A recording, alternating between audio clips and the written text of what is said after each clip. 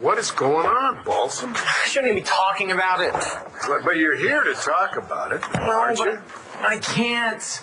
And I shouldn't. Here, sit down. You okay? I, I, I gotta do something. I, I, I can't just stand here and not do anything. Bo, you have to help me save Rex. You're Rex Balsom's mother. And you're his father. Okay, look, I don't know what you're trying to claim, but I don't even know you. Of course you don't. And of course you're not his father. But I need you to say that you are.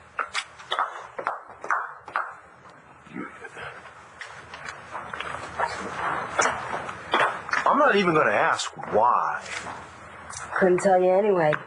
But it's a matter of life or death. I think I'm going to stay out of this one. Even if you knew you could prevent a train wreck? Maybe you should find somebody else to play the part.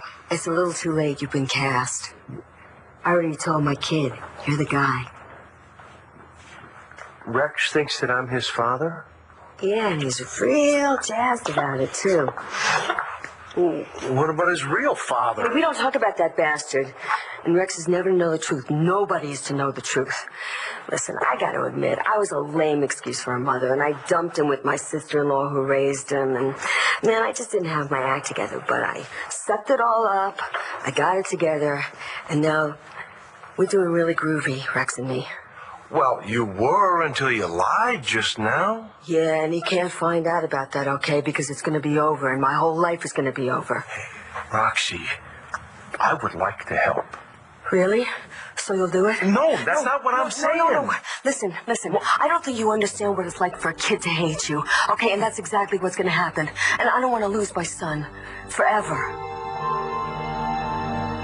I assume then you're also going to punish Jessica's husband in some way, since he did give his full cooperation. Pack your bags. Hell, he got off on it actually, having his own wife committed. Okay, we're not. We're just talking about you now, Jared. All right. As guardian of this house and out of respect to Asa, I cannot allow you to stay here any longer after what you just did to Asa's granddaughter. I am Asa's son. Doesn't son trump granddaughter? From the day you arrived in Llanview, both of my daughters have suffered a great deal because of you. And that's going to come to an end right now. So you have an hour to get your stuff together. No more free ride. May I chime in here? What? What are you, what are you doing here? Nigel let me in. Well, Nigel can let you out because you're just not welcome here, Dorian. I did not come here to see you, Clint, or your charming paramour. I came here to see Jared. I want to talk to him about his father. I don't know why anyone would want to stay in St. Ann's any longer than they have to. St. Ann's. Miles, hello. Hi. Hey, yeah, my, uh, there was some very strange misunderstanding, and my sister ended up there. It's temporary. What happened? Basically, Jessica was pretending to be Tess.